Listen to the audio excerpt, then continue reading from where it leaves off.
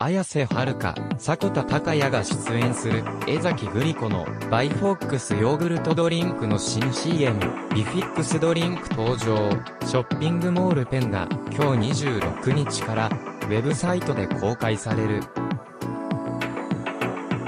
同 CM は、試着中のスーツのズボンのボタンが閉まらないと焦る、迫田のシーンからスタート。目の前の大型ビジョンに映る綾瀬が、あなたに、パンサとビフィックスヨーグルトドリンクを片手に呼びかける。自分に呼びかけられたのかと驚く迫田の背後から突然現れる綾瀬。ビフィックスヨーグルトを勧められたことに戸惑いながらも、飲むと思わずジャンプしたくなる美味しさを迫田が表現する。